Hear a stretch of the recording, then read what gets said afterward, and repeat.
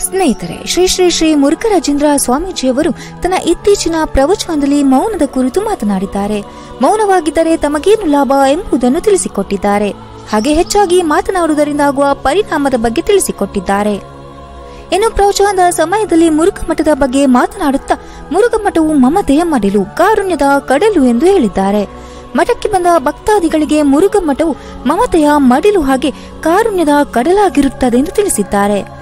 ಇನ್ನು ಶ್ರೀಗಳು ಮೌನದ ಬಗ್ಗೆ ಮಾತನಾಡುತ್ತಾ ಸದಾಕಾಲ ಮಾತನಾಡುವುದರಿಂದ ಯಾವುದೇ ಲಾಭವಿಲ್ಲ.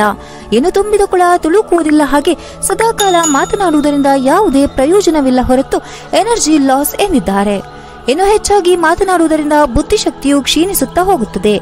ಆದ್ದರಿಂದ ತಾವು ಹೆಚ್ಚಾಗಿ ಮೌನಕ್ಕೆ ಶರಣಾಗಬೇಕು ಎಂದಿದ್ದಾರೆ. ಇನ್ನು ಪಾಠಪಟ್ಟನ ಪ್ರವಚನಗಳನ್ನು ಆಲಿಸುವುದರಲ್ಲಿ ಹೆಚ್ಚಾಗಿ ಮಾತನಾಡುವವರು ಫೇಲ್ ಆಗುತ್ತಾರೆ. ಅದರ ಬದಲಾಗಿ ಮೌನವಾಗಿ ಇದ್ದು ಪಾಠ ಪ್ರವಚನಗಳನ್ನು ಆಲಿಸಬೇಕು. ಇದರಿಂದ ಶಕ್ತಿಯ ಸ್ಟೋರ್ ಆಗಿ ನಾವು ಜೀವನದಲ್ಲಿ ಸಾಧಿಸಬೇಕೆಂಬುದನ್ನು ಸಾಧಿಸಬಹುದು ಎಂದು ಮುರುಘಮಠದ ಶ್ರೀಗಳು ತನ್ನ ಇತ್ತೀಚಿನ ಪ್ರವಚನದಲ್ಲಿ ತಿಳಿಸಿದ್ದಾರೆ.